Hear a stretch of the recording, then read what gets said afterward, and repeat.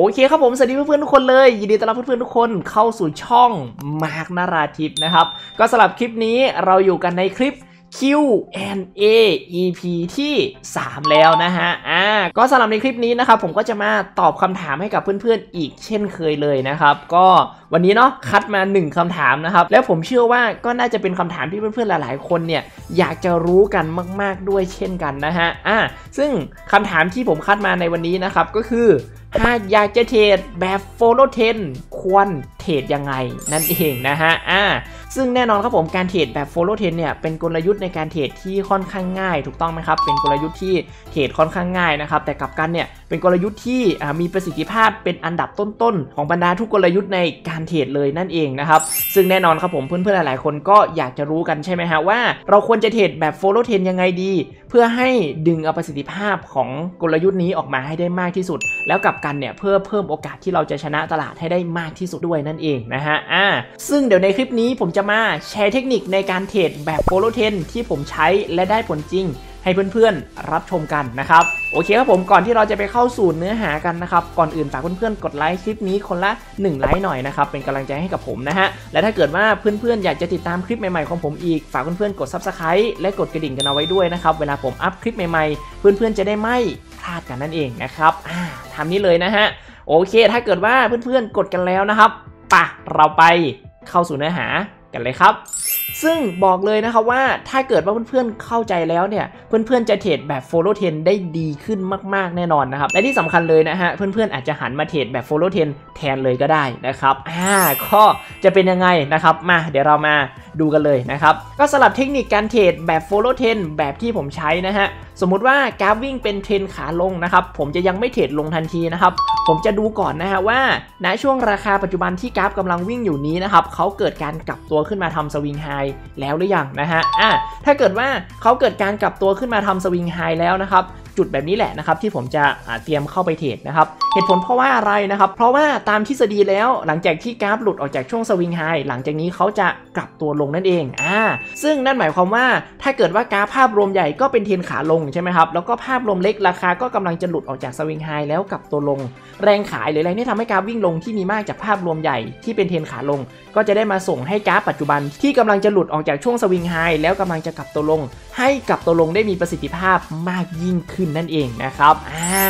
เข้าใจกันไหมฮะอ่าถ้าไม่เข้าใจเดี๋ยวมาทวนกันอีกรอบหนึ่งนะครับถ้าเกิดว่าการวิ่งเป็นเทนขาลง ผมจะยังไม่เทรดทันทีนะครับ ผมจะเทรดก็ต่อเมื่อการในช่วงราคาปัจจุบันเนี่ยเกิดการกลับตัวขึ้นมาทำสวิงไฮก่อนนั่นเองนะครับ เหตุผลเพราะว่าตามทฤษฎีแล้ว หลังจากที่กราฟหลุดออกจากช่วงสวิงไฮ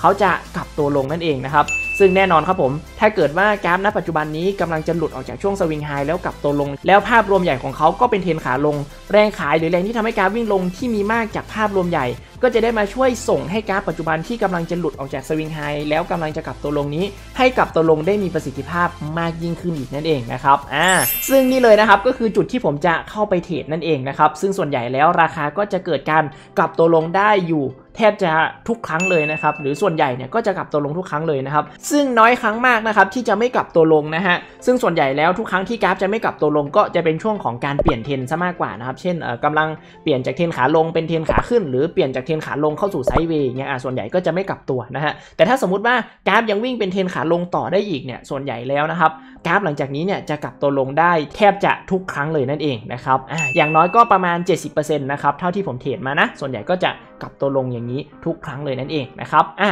คราวนี้มาดูกลับกันนะครับ ถ้าสมมุติว่าการวิ่งเป็นเทรนขาขึ้นนะฮะ ถ้ากราฟวิ่งเป็นเทนขาขึ้นเนี่ยผมก็จะรอให้ราคาเกิดการย่อตัวลงมาทำสวิงโลก่อนนั่นเองนะครับเหตุผลเพราะว่าตามทฤษฎีเลยนะครับหลังจากที่กราฟหลุดออกจากช่วงสวิงโลแล้ว หลังจากนี้เขาก็จะเข้าสู่ช่วงของการกลับตัวขึ้นนั่นเองนะครับอ่าซึ่งแน่นอนครับผมในภาพรวมใหญ่กราฟกำลังวิ่งเป็นเทนขาขึ้นใช่ไหมฮะแรงซื้อหรือแรงที่ทำให้กราฟวิ่งขึ้นจากภาพรวมใหญ่นี้นะครับก็จะได้มาช่วยผลักให้กราฟปัจจุบันที่กำลังจะหลุดออกจากสวิงโลแล้วกลับตัวขึ้นนี้ ให้กลับตัวขึ้นได้มีประสิทธิภาพมากยิ่งขึ้นด้วยนั่นเองนะครับอ่าซึ่งนี่เลยนะครับก็คือจุดที่ผมจะเข้าเทรดนะครับซึ่งส่วนใหญ่แล้วนะครับกราฟในช่วงนี้นะฮะก็จะมีโอกาสกลับตัวขึ้นค่อนข้างสูงนะครับส่วนใหญ่แล้วที่ผมเทรดมานะครับก็ประมาณ 70%เหมือนกันนะครับซึ่งก็มีส่วนน้อยมากๆนะครับที่ราคาจะไม่กลับตัวขึ้น แล้วเขาดันกลับตัวลงต่อซะงั้นนะครับอะก็น้อยมากนะครับซึ่งส่วนใหญ่แล้วที่เขาจะกลับตัวลงต่อได้ก็ส่วนใหญ่จะเป็นช่วงที่กราฟเกิดการเปลี่ยนผ่านนะครับจากช่วงของเทรนขาขึ้นเข้าสู่ไซด์เวย์หรือไม่ก็เปลี่ยนผ่านจากช่วงของเทรนขาขึ้นเข้าสู่เทรนขาลงเลยอะไรเงี้ยอะซึ่ง ส่วนใหญ่แล้วที่กราฟจะไม่กลับตัวก็ส่วนใหญ่จะเป็นช่วงแบบนี้ซะส่วนใหญ่เลยนะครับประมาณนี้เลยนะครับอะนี่เลยนะครับก็คือเทคนิคการเทรดแบบ follow ten ในแบบที่ผมใช้นั่นเองนะครับอ่าก็สำหรับเพื่อนๆคนไหนนะครับที่ดูมาจนถึงตอนนี้นะครับผมคิดว่าน่าจะเข้าใจเกี่ยวกับเรื่องของการเทรดแบบ follow ten มากขึ้นแล้วนะครับว่าเอ้ยเราควรจะเทรดยังไงดี ถ้าเกิดว่าเราจะเทรดแบบ follow ten นะครับอ่าคิดว่าน่าจะได้ไอเดียกันไปพอสมควรแล้วนะครับ ก็หลังจากนี้นะครับอย่าลืมเอาไปฝึกฝน เอาไปพัฒนาต่อด้วยนะครับ เพราะอย่างที่พวกเราทุกคนรู้เนาะไม่มีเทคนิคไหนบนโลกที่จะชนะ 100%นะครับทุกเทคนิคต้องมีการฝึกฝน ต้องมีการพัฒนาตลอดเวลานะครับ เพื่อที่เราจะได้ใช้ได้มีประสิทธิภาพมากที่สุดในการเทรดของเรานั่นเองนะครับอ่าตามนี้นะฮะโอเคครับผมก็สำหรับในคลิป Q&A EP นี้นะครับก็ต้องขอจบเอาไว้เท่านี้ก่อนแล้วกันนะครับหวังว่าความรู้ทั้งหมดที่เพื่อนๆได้จากในคลิปนี้จะเป็นประโยชน์แล้วช่วยให้การเทรดของเพื่อนๆดีขึ้นนะครับ โอเคผมสำหรับในคลิปนี้นะครับ ก่อนจากลากันไปถ้าเพื่อนๆชอบฝากกดไลค์เป็นกำลังใจกับผมหน่อยคนละ 1 ไลค์นะครับและถ้าเพื่อนๆอยากจะติดตาม EP ต่อๆไปของคลิป Q&A อีกนะครับฝากเพื่อนๆกด Subscribe และกดกระดิ่งกันเอาไว้ด้วยนะครับเวลาผมอัพคลิป Q&A ใน EP ต่อๆไปเพื่อนๆจะได้ไม่พลาดกันนั่นเองนะครับตามนี้เลยนะ โอเคผมก็สำหรับในคลิปนี้เดี๋ยวขอตัวไปพักผ่อนกันนะครับแล้วเดี๋ยวเจอกันใหม่ในคลิปต่อไปครับผม สวัสดีครับ